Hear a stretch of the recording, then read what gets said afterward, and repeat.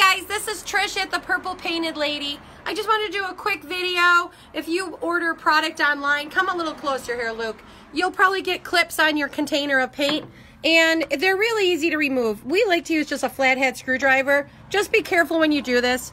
Just kind of wedge the little flat part of the screwdriver underneath there. Make sure no one's by, but you just kind of pop it up and off they come. I'll show you this one on this side.